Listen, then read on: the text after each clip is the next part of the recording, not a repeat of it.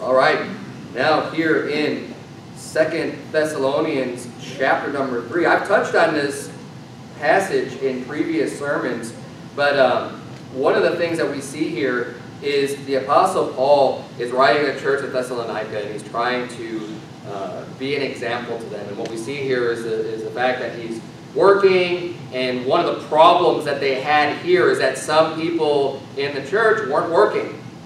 Right? And he says they're being busybodies. They're working not at all. They're, they're just getting involved in, in sin because they're not working. And he even goes as far as to say, you know, withdraw yourselves from these people that don't follow our method and what you know what we've already shown you that you need to work hard. You need to work. You need to provide for yourself.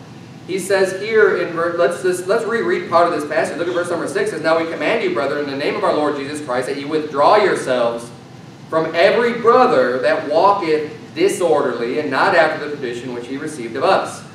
For yourselves know how ye ought to follow us, for we behave not ourselves disorderly among you. So he starts off saying, look, if someone's walking disorderly, withdraw yourself from that person. But then he goes on to explain what it means to be disorderly. Because it says, you know that we weren't disorderly among you. You know how we behaved ourselves.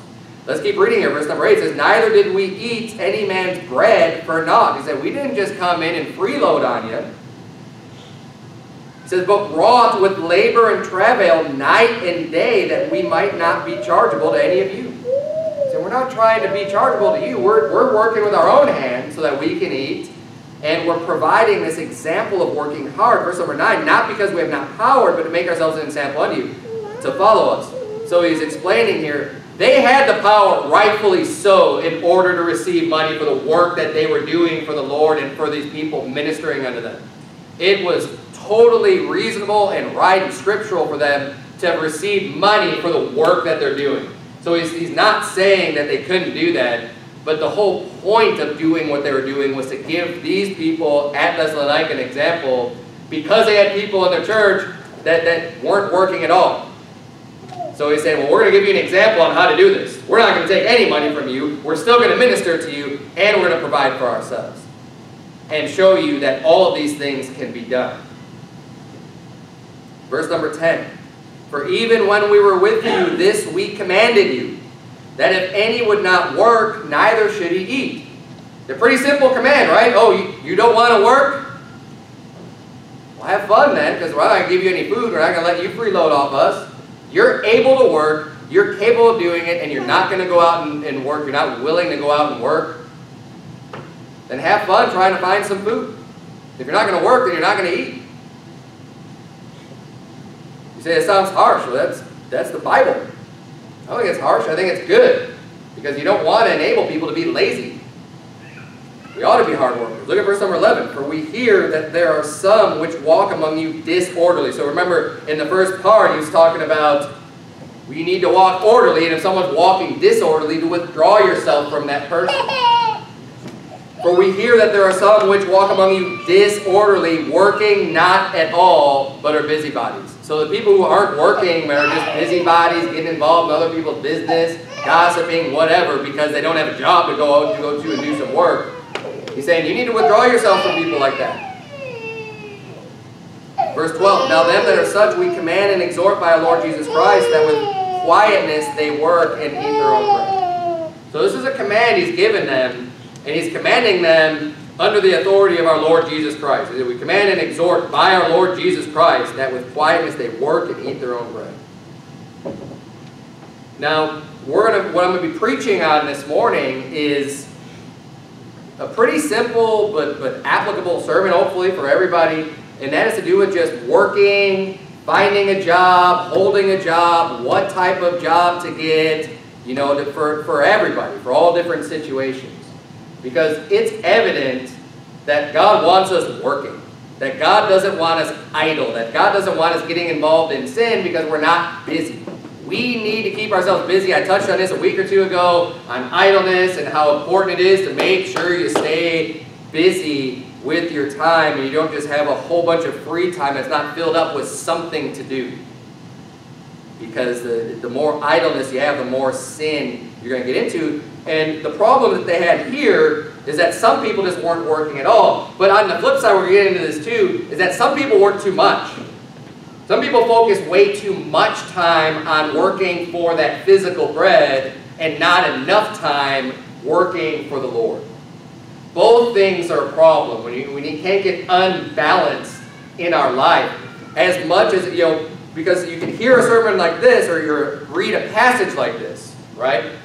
He says, well, I need to make sure I get to work. And amen, right?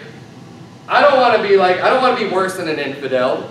As the Bible says in 1 Timothy um, chapter 5, verse number 8. You can turn there if you like.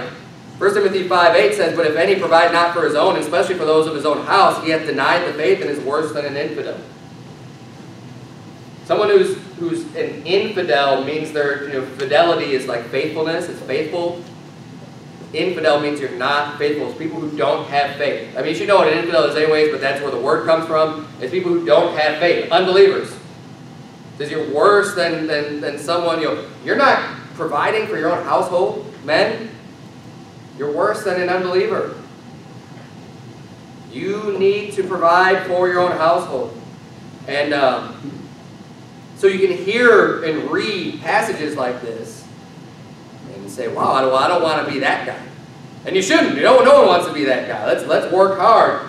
But then as you work and work and work, sometimes what happens is you start conflating what is necessary, what is providing for, with a whole bunch of extra extravagance as being a need, right? Especially in such a, a, a, blessed society that we live in, a lot more things start to become what we consider to be needs that aren't really needs, right? The extra vehicles, the extra houses, the, the toys, the cars, the whatever, all this stuff. Well, I need to have this and I need to have that. And when you start following that end, you can keep working, working, working, working, working in order to provide, to provide all of those things. And you end up not working for God because you get too wrapped up into the cares of this world. And we're going to go into that a little bit more near the end of the sermon, but I'm just kind of giving you an outline here of what we're going to be dealing with because both are important. We need to work hard. And when it comes to working, it's also important to figure out what type of work we should be doing. Now, we saw um, that in 2 Thessalonians 3, how people were not working and became busybodies, right? Um, when it comes to what type of job we should pursue to keep busy with, this is going to be different for men and for women. This is going to be different for children and for adults. Everybody needs to make sure they're not idle. But look at what the Bible says. You're in 1 Timothy chapter uh, 5 excuse me, 1 Timothy 5, hopefully, you're there for verse number 8. Look what the Bible says how younger women can avoid being busybodies.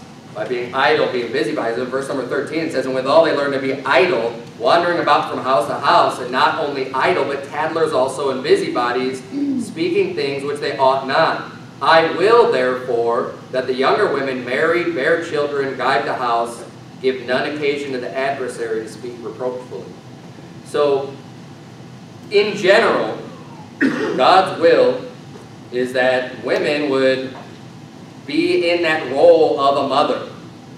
Get married, have children, guide the house.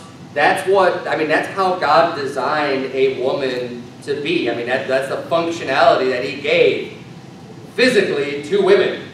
He gave them the ability to, to bear children, gave them the ability to feed the children, to nurture the children, all these great attributes that God has given that men can't do, that only women can do. It's a specific job and a specific function for women to do. And I'll tell you what, one way to keep busy as a woman to get married and have children, that'll keep you busy. At least if you got your priorities right, it will. If you're not letting your house go to hell, and letting your children go off to the devil and just letting things, whatever, yeah, then you might end up having some idle time because you're not doing the actual job that you're supposed to be doing. But if you if you get yourself in a situation, you get married, you start having kids, that will keep you busy. That's going to keep you from being idle, from being a busybody. Um, I believe that men need to be the primary provider. That's what the Bible teaches. That God is, just as He's designed women to be able to bear children and, and do that type of uh, work, He's designed men to be stronger than women, to have strength, physical strength, to be able to go and do more type of work. Uh, in general, work with your hands, work out in the field, work to bring in the, the provision that your family needs. That's how God has designed men to be. Just in that verse 8 that we, we read previously, but if any provide not for his own, especially for those of his own house, he hath denied the faith. He has. It's a man's job to go and, and provide for his family. It's worse than an infidel. Now, I will say this, because I do believe this uh, is true. Definitely, women have different stages of their life. And not necessarily every single woman is going to get married. Just as the Apostle Paul was an unmarried man, there's going to be some women that end up not getting married with their life. Now, I think still primarily that women ought to be provided for, in the way that God has outlined it is, they go from being provided for by their father to their husband if and when they leave the house. And the Bible explains that women ought to leave the house, or men, you know, men and women leave the house in order to get married. Bible Therefore shall a man leave father and mother and cleave to his wife, and they two shall be one flesh. That's the reason for leaving home, is to, is to cleave to your, to your spouse. Because you need that accountability. Now, I'm not going to get into all of that reason. That could be a whole another sermon for another day. But the Bible teaches, you know, that, that you know, and I'm going to do the same thing with my daughters. My daughters will be provided for by me. I'm going to go out to work, and I'm going to make sure they're that they're cared for. And my and my sons, I'm going to teach and train up to do more of the type of work like I do. More of the type of work it doesn't have to be my trade, but just the type of work of working with their hands to be able to provide for their families. And the girls are going to learn how to work at home and to be a keeper at home and to do those types of things and things that God designed women to do. Now, as women go through different stages of their life, you know, God's designed, uh, as, as I mentioned, to be taken care of by the fathers, by the husbands, financially. But um, if a woman gets a job, I believe it shouldn't, first of all, it shouldn't interfere with the responsibilities at home. Because God, if, you, if you're married and you have children, God's plan is for you to be watching over and keeping that house. So it shouldn't interfere with all of those responsibilities. That's first and foremost. Also, I don't believe it's right for women to be an authority over men. And this is even if you're not married. The Bible says in 1 Timothy chapter 2, you can turn there if you'd like, just flip back uh, page or two, 1 Timothy chapter 2, verse number 11, the Bible says, let the woman learn in silence with all subjection. Now again, in the context here, is this talking about um, women learning scripture, learning the Bible? It says, but I suffer not a woman to teach, nor to usurp authority over the man, but to be in silence. For Adam was first formed, then Eve. And this is, this is going deeper to the authority structure that God has laid out. I don't believe that women should be judges like we have, you know, in, in the United States where they, they're, they're in the position of authority to make the judgment call over, over everybody, over men and women. And um, it references here in 1 Timothy chapter 2 that it goes all the way back to Adam and Eve. It says, well, Adam was first formed and then Eve. And if you remember, God made Adam in the image of God. And then he created woman out of man to be an help meet for him. That was the purpose of providing a woman, to be a help for Adam, because Adam had a job that God wanted to do, and the woman was there to provide help so that Adam could get that job done. She's in the supporting role. That's the position that God's given her. It doesn't, it doesn't mean she's less important. She's very important. She's critically important because Adam needed that help. Men need that help. Men need that support to get to get the work done. And it's just like it, it's very similar to what I was preaching last week about the church being a body consisting of different members. And now every member is really important. Everybody serves a function. Everything needs to be here in order for the body to function properly. Well, in order for, for the man to do the work that God has for him to do, he's going to need support. He's going to need help. He needs a help meet for him. And uh, that's what God provided. But then also God provided the authority structure as well. the husband is always the head of the household. And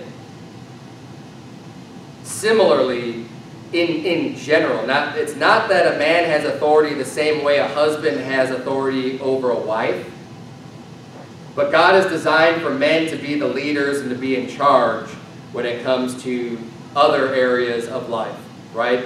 To be, to be the, the bosses, the ones that are the ones in charge, that are delegating, giving responsibilities. That's just the way that God designed men. And again, I'm not going to get too far uh, into that because I want to focus more just on the job aspect.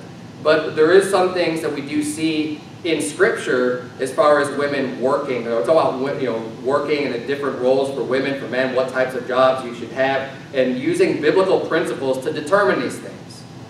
Right? If you're a young single woman, or if you're an older single woman, or if you're you know whatever, you're married, what types of things could you do, should you do, uh, what type of biblical principles do we apply in that situation? And we'll get to men here in, in a little bit. But um, there are things that women can do to have a source of income. I don't believe it's wrong for that, for sure. The Bible talks about, you know, midwives. I've gone over that a couple, few weeks ago. And um, I believe women's health issues and things like that are probably best handled by other women.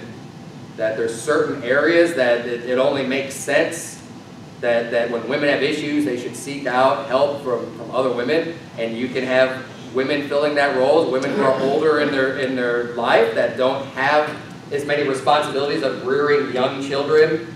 You don't have to do that anymore to, to keep you busy, so now you can move on to doing other things and having other work. You're still under authority of your husband. You can still keep the home, and you can provide service like this where it's not going to interfere with your other duties and tasks. But if you're in a position where your duties and tasks at home are limited because you're not in that stage of your life, there are, I totally believe that it's, that it's perfectly fine for women to go out and get these types of jobs. Um, the Bible also talks about the virtuous woman, Proverbs 31, that she works with her hands and that she is rearing her children and everything else, but she delivers her goods unto the merchantman.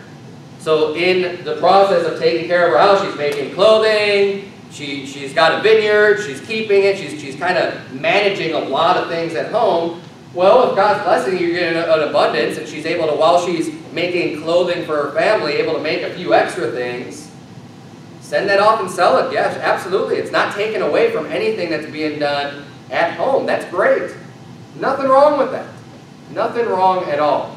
But we want to just make sure that we fall within the principles that God is laying out here. So, in general, uh, those are the types of things that we can look at for, for you know, women in their, in their situations. I don't think it's right that uh, a, woman, a woman should be forced, though, to have to go out and get a job. Because that responsibility falls on the man to take care of their own household, whether you be a father or a husband. But not everyone's in that situation. Some women don't have, you know, their fathers passed away, or they're, you know, they're not married, or they're, you know, whatever. There's a lot of different situations out there. So, uh, you know, we need to fall back on other biblical principles to be able to uh, do things the best that you can with the situation that you're in. Right? Now turn if you would to Luke chapter 3. I want to touch more on just different types of jobs that you can get. I know a lot of people have these, these questions. I have these questions, and, and you know everyone has to figure this out for yourself, but what type of job should I have? What type of job should I get as a Christian? Because there's definitely some jobs that you shouldn't have as a Christian, as someone who's a believer. Jobs that maybe you had before you got saved because you didn't know any better or because you didn't have a problem with it, but now that you're saved, now that you see what the Scripture says, you need to start rethinking your career choice and, and get into areas where uh, you're going to be right with God. There are jobs out there that are going to make you sin. The bottom line is, if you're, if you're put, if you're in a position, if you're in a job that's going to make you sin against God, you need a different job. You need to go somewhere else. For example, the Bible tells us very clearly not to be partakers in other men's sins and that, you know, when it comes to just things like alcohol, right? Not to even look on the wine when it, when it giveth this color in the cup, when it moveth itself aright. and, and things like that. So if you're a bartender and you're helping other people to get drunk, which is a sin, and you're a partaker with their sins, you're taking their money and you're giving them booze. And you're pouring it, and you're looking at it, you're serving it all day, you're around this booze. You need to get another job. Because you're you you are participating in that sin of that person. You say, yeah, but if I don't do it, someone else will. Okay, but that's on them. You say, well, if I don't kill this person, someone else is going to kill a person. that's stupid. There's no justification. Just because someone else might do something wrong doesn't mean that you should do something wrong. Ever. That's never a good excuse. I've heard people use that for so many different things. Like, you know, when it comes to drugs, someone wants to get drugs, they're going to get them. I might as well make some money at this. No.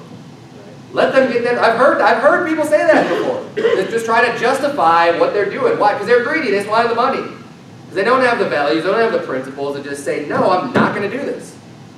A real simple one, you know, maybe you shouldn't be working at that strip club, right? You say, well, I'm just a bouncer. Yeah. Maybe you should find a different job, okay? That's wicked.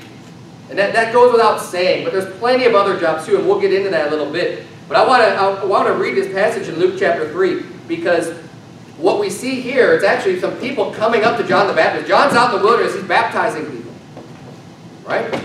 So people are getting saved and baptized under the ministry of John the Baptist. And then people start asking him questions. Well, hey, what should we do? Let's read that passage because he's talking to people in specific jobs. Look at verse number 7. The Bible says, Then said he to the multitude that came forth to be baptized of him, O generation of vipers, who hath warned you to flee from the wrath to come? Bring forth therefore fruits worthy of repentance, and begin not to say within yourselves, We have Abraham to our father. For I say unto you, that God is able of these stones to raise up children unto Abraham. And now also the axe is laid under the root of the trees. Every tree therefore which bringeth not forth good fruit is hewn down and cast into the fire. Now I'm going to pause here because it's important for the whole context of the passage, who John is talking to and what he's talking about before we get on to the next passage. Because you can see there in verse number 10 it says, And the people asked him, saying, So there's two different groups of people here. First, he's just speaking to the multitude that comes forth. There's a lot of people that came forth. But as he's speaking in general to the whole crowd, he's targeting false prophets that are there. And that is evident just in the words that he's using. He's not targeting every single person that showed up, even though he's speaking to the mass of the whole crowd. What he's saying is targeting a specific section of the people that are there. Because the Pharisees and the Sadducees came out to see what John the Baptist is doing. And, and they came to ask him questions and whatever else, and to see what's going on with his ministry. And that's what he's he saw. He says, O generation of vipers, who hath warned you to flee from wrath to come?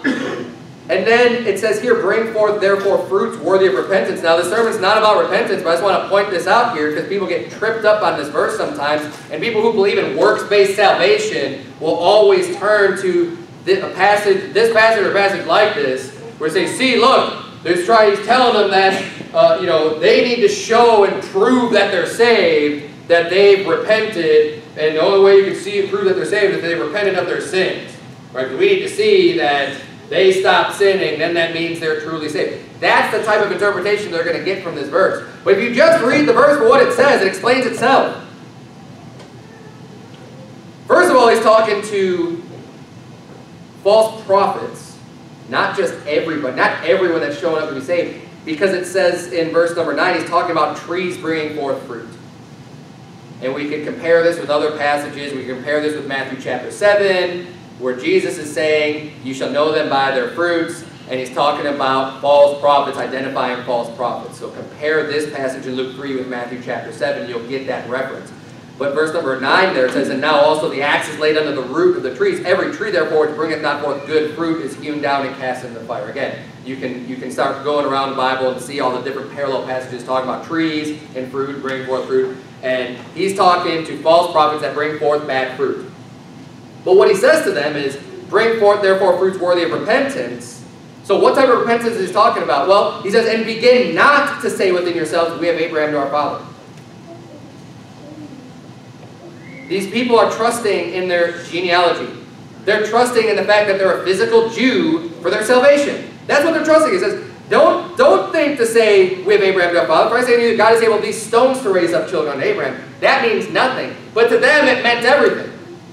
They looked on the Jews of Jesus' day, and many of the Jews today are the same way. They looked at the Gentiles, they looked at other people as lower people, as people rejected of God, as people basically who are like reprobates, and that because they're God's chosen people, that they get their pass into heaven because they're God's people, because they're a child of Abraham. Because God made this promise to Abraham, and we're child of Abraham, so we just automatically get in there. And that's what, you know, a lot of the New Testament deals with, is that false concept that the Jews had of physically being a seed versus spiritually being a seed, that, that whole difference. But when he says bring forth fruits worthy of repentance, he contrasts that with their belief in being a son of Abraham. The repentance that they needed was to stop trusting in the fact that they're physically a child of Abraham and to put their faith in Jesus Christ, to get saved, to put their faith in the right place. That's the bottom line. That's what he's talking about. He's not talking about seeing some proof that they really believe and looking at their works. That's not what he's asking for right here at all. He says, bring forth fruits worthy of repentance. Because he then says, don't say this within your heart. It's their belief that he's challenging. But now, after he says this, after he addresses these false prophets, now people come to him and says, and we will ask him, saying, What shall we do then? What shall we do? And he, he answereth and saith unto them, He that hath two coats, let him impart to him that hath none. And he that hath meat, let him do likewise. So now he's starting to teach them, love your neighbor as yourself, right? Do help people out. After you get saved, after you get baptized, what should we do? are obeying God's law. It makes sense. It fits. Verse number 12. But now he's going to get more specific because there's certain people that come to him that are in specific jobs. So these people get saved. Now, if you, if you remember, we're going to see here an example of a publican. In the Bible, you often see publicans and sinners, right? Publicans and sinners came to Jesus. And, and, and Jesus was getting mocked and ridiculed because he sat and ate meals with publicans and sinners a publican was basically like a tax collector.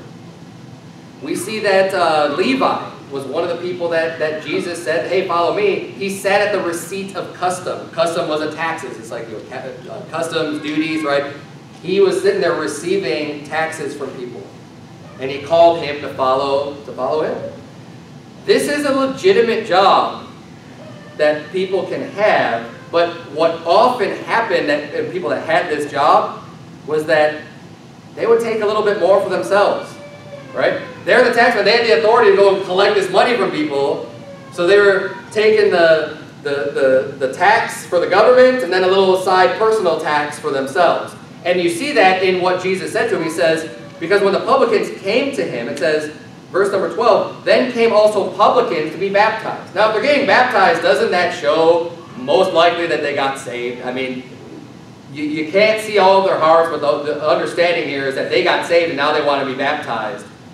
They came to be baptized and said unto him, Master, what shall we do? Well, what shall we do? We're publicans, and they're looked down upon, and people hate them. So what does he say? He says unto them, Exact no more than that which is appointed you. So as the tax collector, it's appointed unto them from their boss, hey, this is how much this person needs to pay. This is their tax. This is what they owe. Go and collect that. And he's saying, don't collect more than what you've been told that they need to pay and just, you know, pocket the rest. Because that's something that was apparently really easy for them to do, and that's also why they were looked down upon. Right? Because there's a lot of shady people out there getting that job, getting the authority to take money from people and basically become an extortioner and, and extort money from people, money that they don't even owe for their own gain. And then we have another example here of, of soldiers. So military men. Right? They're saved now here, these people. It says, and the soldiers likewise demanded him, saying, and what shall we do? Okay, you answer the publican, you tell them, okay, they need to, to be honest at their work. What do we do? And he said to them, do violence to no man, neither accuse any falsely, and be content with your wages. So he tells them three things. One, do violence to no man. You say, well, wait a minute, how can they still be a soldier and do violence to no, man? Well, there's a difference in the morality of self-defense and bringing evil upon someone because, and when I say evil, you have to understand the, the definition that the Bible says is bring harm, like bodily harm to somebody else. If someone were to be guilty of a crime, that's a capital crime, and they need to be put to death. The person executing the judgment is doing evil upon that person.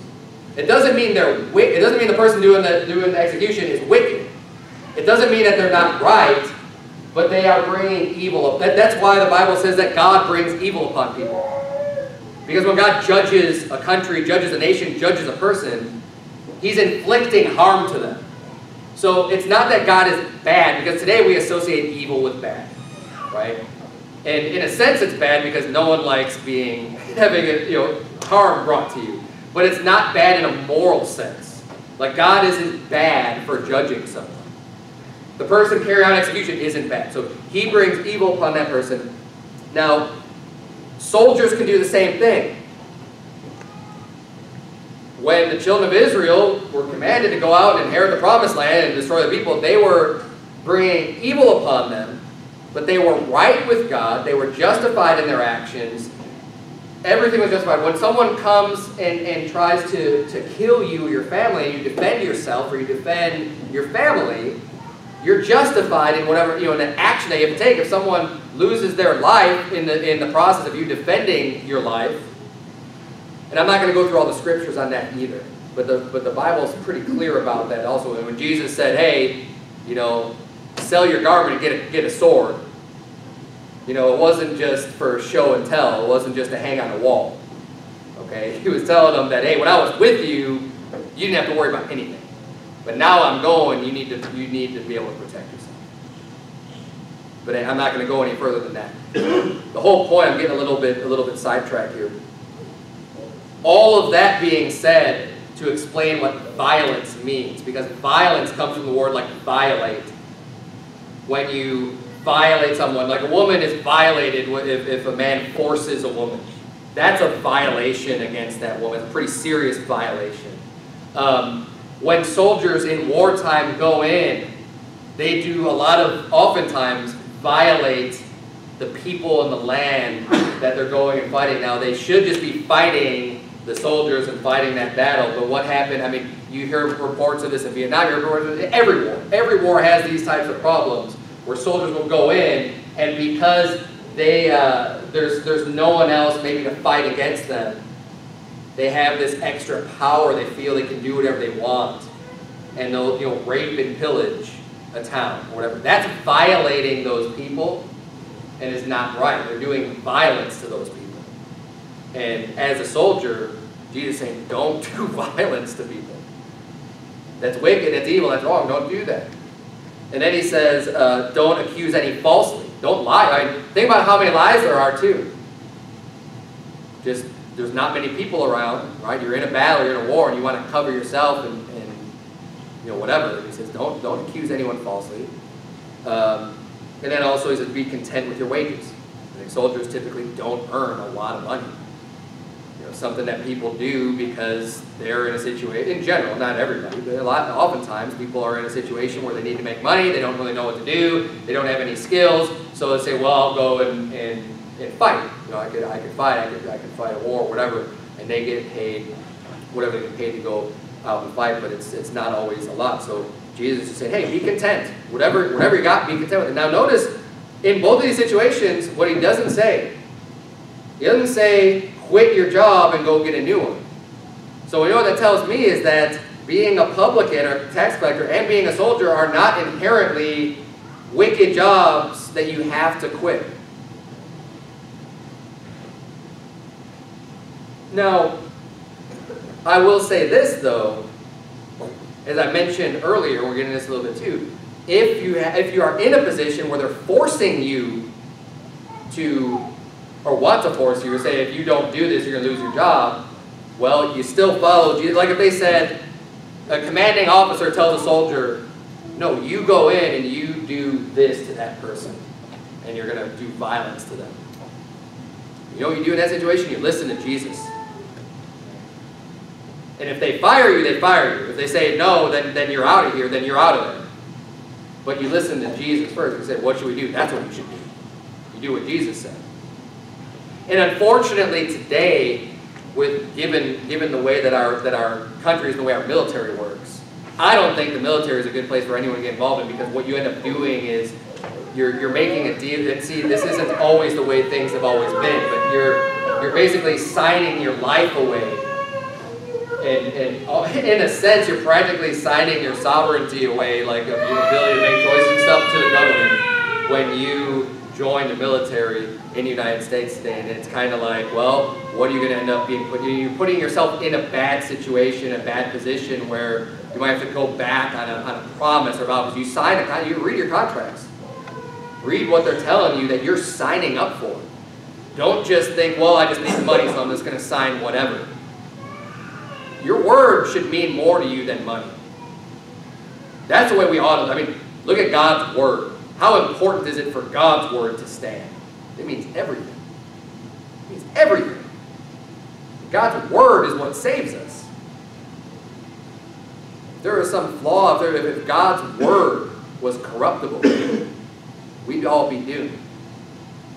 God's word is important. Our word should be important too. And when you sign documents, you sign statements, and this is what I'm going to do, it's like, it's like a vow, it's an oath. It's a covenant. We all take that seriously. And if you have a job that's requiring you to sign something like that, and then it's going to put you open yourself up, that's just not wise. You open yourself up to, to saying, I'm going to obey this, and I'm going to do this, and you're going to tell me where to go, and I, you know, whatever. Whatever it says, you read it. It's not wise to open yourself up to then putting yourself in those situations. And unfortunately, the government is putting people in situations today that are not justified, that are not right. And uh, personally, I don't think people should do it, but you know, use the biblical principles to determine yourself what's right. and there's there's many other situations uh, like that. But here we see there are jobs you can have, and these people just get saved. Um, and now they're saying, well, now what do we do? Because they know they already knew that this stuff was wrong, but they're asking Jesus now, what can we get away? You know, what can we do? What should we do? And uh, maybe you're, you you got saved, you're in a job where, uh, well, here's an, here's another example. Like, oftentimes sales jobs will get people to lie, right? You work for, for a job where the company doesn't have very good ethics, where they don't really care about right and wrong, they just care about the bottom line, they'll instruct employees to lie. Well, the Bible says not to bear false witness. I mean, he told the soldiers not to bear false witness against anyone, right? If you're at a job that's requiring you to lie, you're going to have to say, if you're going to be right with God, you have to say, I'm not going to lie. And if you're going to force me to lie, then you're going to have to fire me or whatever. But I'm going to perform my job without breaking God's law, without, you know, there, there, there should be none of that going on because God's law needs to have the priority in our lives. And if that means you lose a job, you lose a job. What's more important to you? Being right with God or that money that's coming in?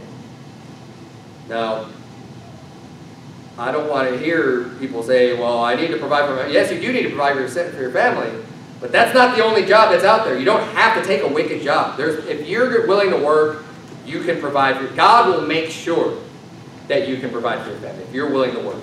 And if you have integrity to keep God's word, God will dead sure make, make positive that you will be able to do that. No doubt about it.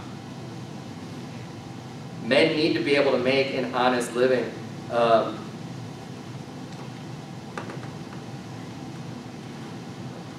turn to Matthew chapter 6, the last place I'll be 2 Corinthians chapter 8, verse 21 says, providing for honest things, not only in the sight of the Lord, but also in the sight of men. We need to be honest. We need to provide for honest things when we go to work. Not only in God's sight, but also in man's sight. And then the Bible says in Proverbs 16, 11, a just weight and balance are the Lord's. All the weights of the bag are his work.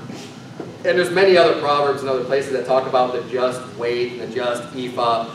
And basically it's talking about where people would would uh, falsify their, you know, they're trying to make extra money. So they're saying, I'm selling you one pound of grain or whatever. And the way they do it at balances, so you put something that's a known weight, one pound on this side, and then we're going to even it out to whatever you're selling on this side. And what people do is say, oh yeah, see look, this is labeled one pound, and it's really um, 0.9 pounds. Right? So it's lighter. So they're giving you less than what they're saying they're giving. It's just lying, is what it is. It's all, and, you read that in the Bible. Obviously, God's against lying. And the Bible says, better is little with righteousness than, than much gain without righteousness. That's, it's way better to make little, say, but I'm only making this much of my job. You know what, that's a lot better if you could do it righteously, if you could be right with God and have integrity and do what's right. It's way better to make a lot less than it is to make a lot more money and do it deceitfully and do it through unjust gain. Because that's only going to hurt you in the long run anyways. Now, as I mentioned, you shouldn't work for a place that makes you deceptive. You shouldn't work for a place that makes you sin. Um, you also shouldn't work for a job that's keeping you out of church. And this is going to go to your own priorities, but we see the priority that God puts on the church and how Jesus Christ shed his blood for the church and how uh, the Bible says not to forsake the assembling of yourselves together. Church ought to be a priority in our life. We need church. We need church not just listening to preaching online, not just, you know, reading your Bible at home. You need to be in church. Can't stress this enough. And so many people, they don't realize how important it is to be among the believers, to be among the brethren, to work together, to strive together for things that are good and for upright, and be around other people. You need that. And if you don't have that, you're going to slip. You're going to start backsliding, or you get out, and you're to, before you know you're getting in the world, you're not even going to know how it happened. Because you didn't put the priority on being in the house of God. It is important. Now you decide how often that is for you to be right with God. God doesn't tell you you have to be in church X amount of days or X amount of hours in order to not sin. You don't have that. Just as much as we don't have how long a woman's hair needs to be in order to be considered long and how short a, a man's hair needs to be considered short. God doesn't give us that metric. But we do see this in the Bible that we need, uh, it says, and so much the more as we see the day approaching as far as, as being in church and, and congregating together, that it's even more important to be among the believers as the world starts to get more wicked, as the end times start approaching, as the signs of the Antichrist are coming. We need this more, more and more and more. I personally made the choice a long time ago that I won't work for any job that's going to make me be, miss any church at all, ever. Because that's a priority I place on church. Say, This is my top priority. My family, God's at the top. You make that decision for yourself. I'm not going to condemn someone who works on Wednesday nights or whatever. You know, that's between you and God. I'm just telling you, you know, my decision making and just for you to analyze your own priorities in your life, what's important to you. And do your actions reflect what your priorities are? Is it really important?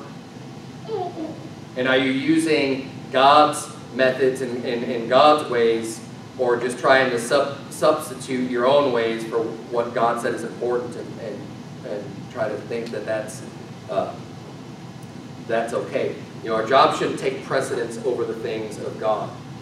Um, if your job prevents you from coming to church, you either need to change your schedule or change your, your job. I, I had the same, I had this actual very thing, it's in the process right now. I could be at work right now. I've been at work, I was, I worked until 3 a.m. on Friday. I worked until 10 p.m. last night, from morning to night. And look, I'm not trying to boast, I'm just saying, we're, we're in the middle of something at work that requires, I mean, everybody's coming in, it's a big project, there's a lot of stuff going on, there's deadlines and stuff, but you know what? I said I'm not available on Sunday morning, I'm not available on Sunday evening. So if you're the pastor, well, yeah, of course I need to be here, but I would say the same exact thing if I wasn't. Because that's my priority. And I don't care how good the job is, I don't care how much it pays. If they're going to say, well, you need to be here or else you're fired, then I'll say, see ya. Now look, I'm willing to work. I'll work different hours of the day, different hours of the night. I will provide for my family. I'll do what it takes. I'll work hard for an employer, but I'm not going to put them over God. I'm not going to put that over being in church. I won't do it. You know what? I think God will bless you if you make that stand. Oftentimes people get too comfortable in a situation or in a job and maybe you enjoy the work or you like your job. You don't want to, um, you know, maybe you have a hard time even thinking you can get another job. Oftentimes a lot of people get kind of scared about that and say, well, yeah, I know, but I've been here for a while and there's this good skill. And you get so used to it, you don't really want to rock the boat. But there's always other jobs out there. I mean, I got real comfortable my, at my previous job that I worked at for almost 15 years. It was comfortable before I got laid off. it was real comfortable, but it was nice. And it was great. And I had no problems with it. But see, it didn't force me to have any conflict with obeying God's law or being in church or anything like that. So it was just fine. But there were times where I didn't really want to go out and seek another job because that one didn't pay as great as it could have for, for the job that I did. But I understand that feeling of getting real comfortable in a position and not really wanting to change and not really wanting to move. But when it comes to either obeying God or being right with God, that should be a, that should really be a no-brainer. The decision making should come from what's the most priority in your life. And like I said, it doesn't mean you have to quit immediately, but start looking around, line up another job, transition, let that be your focus if, if, if you have any of these problems. Now, if you are just in direct sin with God, like if you're working at the strip club, quit today. don't, go back to that job. Don't put yourself in a sinful situation. But if, if you're at a place where you can continue to work and not sin, then great. You know, you can still stay there and do what you need to do. But then, um, or if you're, you're, you know, you're not able to get to church very often, I, I would consider um, try to find another place to, uh, to gain employment. And still, you know, it doesn't mean you're not providing for your family. Just make that change as soon as you can. That's, uh, that's what I think would be the biblical approach to that. Now, um, I turn to Matthew chapter 6 because we can't forget what Jesus taught. And we see in Matthew chapter 6, this is what where our priorities should be. It kind of sets us right. Because, as I said before, we, we have an imbalance of where we should be spending our time. What should we be focused on? Verse number 19 in Matthew 6, the Bible says, Lay not up for yourselves treasures upon earth, where moth and rust doth corrupt, and where thieves break through and steal. So on the one hand, we have if you're not providing for your own, you're worse than an infidel, right? That's the provision. But on the other hand, he's saying, don't be laying up treasures for yourself on earth either. You work enough, but you need to work to provide, but don't be caught up in laying up of treasures. Says, but lay up for yourselves treasures in heaven, where neither moth nor rust doth corrupt, and where thieves do not break through nor steal. For where your treasure is, there will your heart be also. The light of the body is the eye. If therefore thine eye be single, thy whole body shall be full of light. But if thine eye be evil, thy whole body shall be full of darkness. If therefore the light that is in thee be darkness, how great is that darkness? No man can serve two masters. For either he will hate the one and love the other, else he will hold to the one and despise the other. You cannot serve God and mammon. Someone has to come first. Someone has to come first. Is it your work or is it God? Is it your employer or is it God? Is it that money or is it God? The statement I just made is, you know what? I despise the work, the, the, the job, if it means I have to, to miss church. No, I'm going to cleave to God and love God. I can't, I can't be in two places at once today. I can't be at that other job and here. You know what? Right now I'm despising the other place because I love God I'm going to be here. You can't serve God and man. You can't have two masters. Verse 25, therefore, so because of this, because you can't have two masters, therefore I say unto you, take no thought for your life, what you shall eat or what you shall drink, nor yet for your body what you shall put on. Is not the life more than meat, and the body than raiment? Behold the fowls of the air, for they sow not, neither do they reap, nor gather in the barns, yet your heavenly Father feedeth them. Are ye not much better than they? Which of you by taking thought can add one cubit unto his stature. And why take ye thought for raiment? Consider the lilies of the field, how they grow. They toil not, neither do they spin. And yet I say unto you that even Solomon in all his glory was not arrayed like one of these. Wherefore, if, God so clothed the grass of the field, which today is and tomorrow is cast into the oven, shall he not much more clothe you, O ye of little faith? Therefore take no thought, saying, What shall we eat, or what shall we drink, or wherewithal shall we be clothed? For after all these things do the Gentiles seek. For your heavenly Father knoweth that ye have need of all these things. But seek ye first the kingdom of God and his righteousness, and all these things shall be added unto you. Take therefore no thought for the morrow, for the morrow shall take thought for the things of itself. Sufficient unto the day is the evil thereof. We're being taught the concept that you don't have to fear, you don't have to be scared when it comes to making these decisions on faith. When you're putting God first, you say, you know what, I'm going to serve God, I'm going to make Him the priority. Everything will fall into place. Don't be worried about that job. God will make it happen so that you are provided for. If you're going to seek Him first. Don't put God on the back burner. Don't put Him second. Don't put Him last. Give Him the priority. Seek those heavenly riches, and God will make sure that you have the food and the clothing that you need. Don't forget the whole purpose of having a job is to provide for your physical needs. Keep that in mind. Don't get distracted with amassing physical riches because if you do that, you're going to end up wasting your life. Now, I think I've covered everything I wanted to cover. There's a few other passages that I have here. I'm not going to get into all of them, but um, I'll just give you a summary of these so we don't have to turn to all these passages. Being successful on the job. So you get in a job, you get a good place, you find a, a job that's going to be in line with your priorities, be in line with serving God. If you want to do well on your job, then you need to, um, first of all, you know, Bible says in Colossians 3, verse number 1, if you then be risen with Christ, seek those things which are above, where Christ sitteth on the right hand of God. Set your affection on things above, not on things on the earth. It's basically a, a summary of what Matthew 6 says. Seek out the kingdom of heaven first. And then it says in verse 17, Whatsoever you do in word or deed, do all in the name of the Lord Jesus, giving thanks to God and the Father by him. Then verse 22, the Bible says, Servants, obey in all things your masters according to the flesh, not with eye service as men pleasers, but in singleness of heart, fearing God. And whatsoever you do, do it heartily as to the Lord and not unto men. When you have a job to do, do it well.